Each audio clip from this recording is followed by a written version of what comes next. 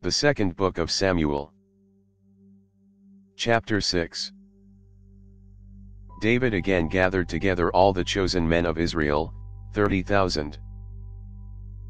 David arose, and went with all the people who were with him, from Baal Judah, to bring up from there God's ark, which is called by the name, even the name of Yahweh of armies who sits above the cherubim. They set God's ark on a new cart, and brought it out of Abinadab's house that was on the hill, and Uzzah and Ahio, the sons of Abinadab, drove the new cart. They brought it out of Abinadab's house, which was in the hill, with God's ark, and Ahio went before the ark. David and all the house of Israel played before Yahweh with all kinds of instruments made of cypress wood, with harps, with stringed instruments, with tambourines, with castanets, and with cymbals. When they came to the threshing floor of Nacon, Uzzah reached for God's ark, and took hold of it, for the cattle stumbled. Yahweh's anger burned against Uzzah, and God struck him there for his error, and he died there by God's ark.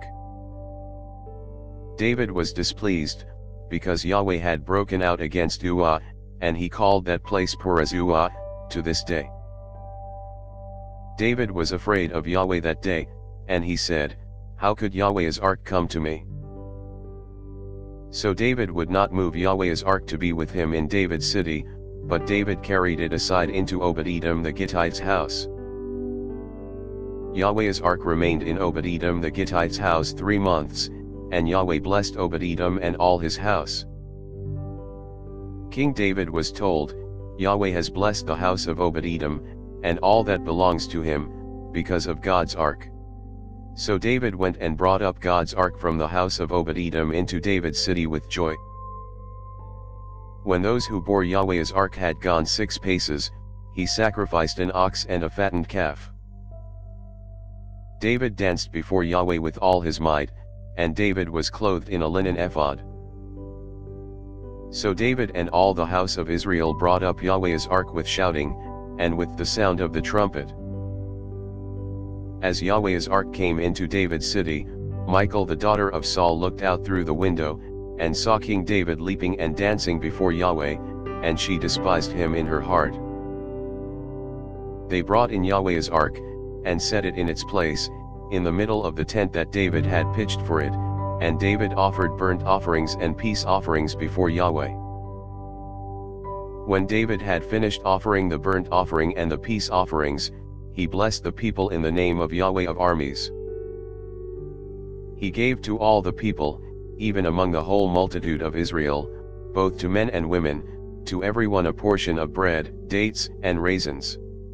So all the people departed, each to his own house. Then David returned to bless his household.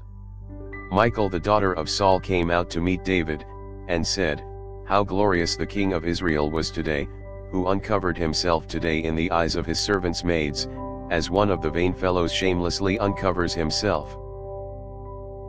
David said to Michal, It was before Yahweh, who chose me above your father, and above all his house, to appoint me prince over the people of Yahweh, over Israel. Therefore I will celebrate before Yahweh. I will be yet more vile than this, and will be worthless in my own sight. But the maids of whom you have spoken will honor me. Michal the daughter of Saul had no child to the day of her death. Thanks for listening.